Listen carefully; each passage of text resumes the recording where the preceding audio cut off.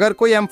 से फायरिंग करता है तो क्या ये बुलेट प्रूफ जैकेट आपको बचा पाएगा चलिए थ्री एनिमेशन से देखें अगर मैं बुलेट प्रूफ जैकेट के आउटर कवरिंग को हटा दूं तो इसके अंदर चार लेयर्स होती हैं सबसे आगे सिरामिक लेयर फिर एरामेट फाइबर्स लेयर फिर वर्टेक्स लेयर और लास्ट में ये पॉलीएथिलीन लेयर सबसे पहले बुलेट सिरामिक लेयर की सिरामिक डिस्क से टकराएगी जिससे बुलेट की स्पीड कम हो जाएगी और बुलेट की शेप कुछ इस तरह से चेंज हो जाएगी उसके बाद बुलेट इस एरामेट फाइबर लेयर से टकराएगी ये स्टील से भी ज्यादा मजबूत एक टाइटली वेवडी फैब्रिक है बुलेट कॉन्टेक्ट में आने से ये इस तरीके से से पीछे की ओर स्ट्रेच हो जाएगा और इस बुलेट की काइनेटिक एनर्जी को ऑब्जॉर्व करके पूरे सरफेस पर डिस्ट्रीब्यूटर देगा इसको चीरते हुए बुलेट वटीनेक्स लेयर से टकराएगी वटीनेक्स लेयर और कुछ नहीं बस इस फाइबर लेयर का ही अपग्रेड वर्जन है जो की और ज्यादा टाइट रहता है आगे बढ़ते हुए ये हाई टेम्परेचर बुलेट जब इस टाइट केमिकल बाइनंड वाली पॉलीएथिलीन लेयर के कॉन्टेक्ट पार्ट पिघल जाएगा और इस बुलेट को ऐसे जकड़ लेगा